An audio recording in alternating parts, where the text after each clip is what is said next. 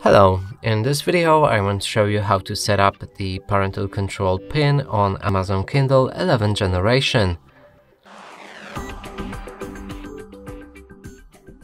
And to do this you'll need to click on the three dots on the top right corner of your screen, select the settings, go for parental controls, here select Amazon Kids and now you can set up a new pin for the device.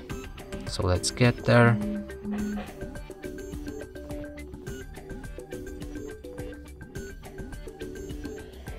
Now add your child profile, you can add a name and a date of birth, so let's do that.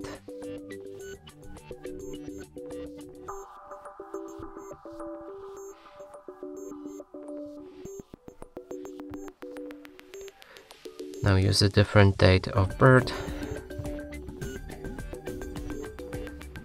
Click on next. And now we can enable or disable the child profiles. Here you can select new to add new child profile, manage your subscriptions so you can, uh, but we need to enter the PIN first.